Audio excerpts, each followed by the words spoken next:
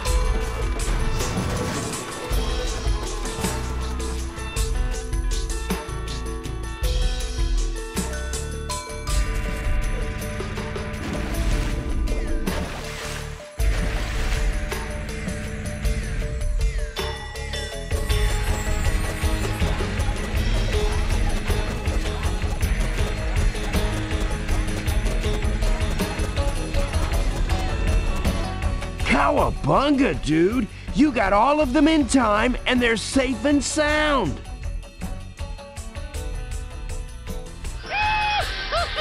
Hey, it's Krishnamurti.